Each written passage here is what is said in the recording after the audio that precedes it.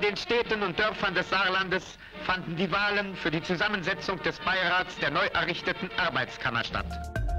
Das war 1952. Die Arbeitskammer war ein Jahr zuvor vom Landtag als öffentlich-rechtliche Vertretung der Arbeiter und Angestellten beschlossen worden. Bis heute fast einmalig in Deutschland. Nur Bremen hat ein ähnliches Modell. Noch im gleichen Jahr werden erste Lehrgänge zu Arbeitsrecht, Betriebswirtschaft oder Sozialversicherung angeboten. Tagungsort seit 1956 das eigene Schulungsheim in Kirkel, das bis heute Bestand hat. Ziel der Arbeitskammer, mit Fortbildung die wirtschaftliche und soziale Lage der Arbeitnehmer verbessern.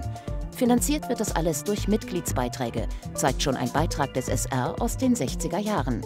0,15 Prozent vom monatlichen Brutto, die direkt vom Arbeitgeber abgezogen werden. Sogar ein eigenes Ferienwerk gehörte bis 1998 zur Arbeitskammer mit kammereigenen Feriendörfern im Allgäu, Österreich oder ganz exotisch auf Elba. Viele heute selbstverständliche Arbeitnehmerrechte sind mit Hilfe der Arbeitskammer in Landesgesetze umgesetzt worden, zum Beispiel der Anspruch auf bezahlten Bildungsurlaub. Die Kammer informiert, berät und unterstützt auch bei Steuererklärung oder mit Rechtsberatung. Heute in einem großen Beratungszentrum mitten in Saarbrücken. Gesetzliche Grundlage seit 1992 das neue Arbeitskammergesetz, das ihre Aufgaben noch erweitert.